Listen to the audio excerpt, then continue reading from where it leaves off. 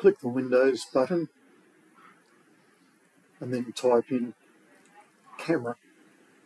Select the camera app. You'll notice that the camera app doesn't have any controls there. So click the settings button, click camera settings and use advanced controls. Go back, you'll find that there's now settings. So click on the brightness settings. You can adjust your camera brightness to the right level.